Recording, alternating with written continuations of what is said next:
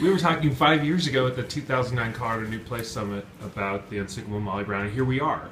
I know it's actually happening, and it's happening in Denver, which is perfect. And it, it, it couldn't be any better than that, could it? No, I mean to, to do this story about uh, Molly Brown in what became her hometown, and you know I think the sort of um, one of the most famous residents in uh, in, in Denver history is kind of wonderful. Can you give us some insight onto how, you know, what happens in five years in between? You're developing the piece, but then you're also trying to find the right home and the right time and place to do it. And that took us a little bit to, to work out. I mean, we were thrilled that it's here, but it was also the timing of it. now is the right time and the right place. Yeah, exactly. Why is this the story you want to tell? Um, well, I love the fact that there's a sort of uh, that we have a sort of strong female character at the center. I mean, there aren't many shows that really a sort of uh, woman is at the center of it and the title character and kind of driving the narrative.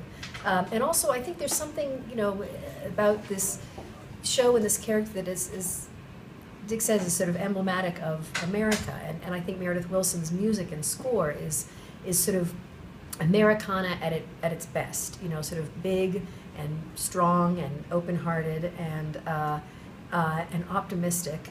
And I think that that's a lot of uh, qualities that this show has, and that Molly Brown herself had. Are we going to see a, uh, an appreciably different Molly Brown? I mean, because at the heart, we're still talking about a love story, aren't we? Well, absolutely. I mean, you know, I might, yes, it's very much a romance between Molly and JJ. It's a very different Molly Brown, but I think if you look at the original, one one of the challenges of the original is that the Molly within the original is inconsistent. In some scenes, she's very, very bright and picks up things very quickly, and then the next scene, she'll be the opposite of that. And there's a kind of scene by scene approach, and I wanted a much more holistic approach. It is still the story of a girl who becomes a woman, so she grows and, and, and grows the way people do, but it's the same person growing. And I think that can make the love of relationship much deeper too. We were thrilled to be able to announce the news that Beth Malone, a uh, Castle Rock native, is going to be your your Molly Brown.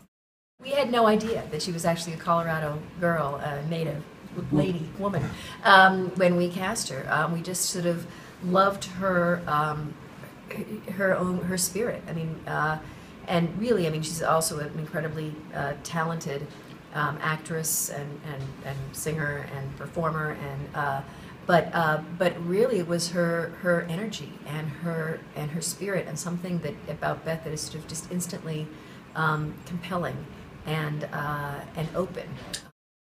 It is a journey of a woman who who, who grows uh, incredibly. I mean, she ages from age 19 to what 45, 45 or something during the course of the action of the play. So you need somebody who who can take you on that journey, who can sort of you can believe that she is a kind of you know um, young and open and somewhat naive, but but very clear-headed and strong-willed person who then sort of matures into something else. And we actually asked her to look at scenes from uh, um, all ends of the play, her you know from from all all stages of Molly's life, and uh, and she did it beautifully.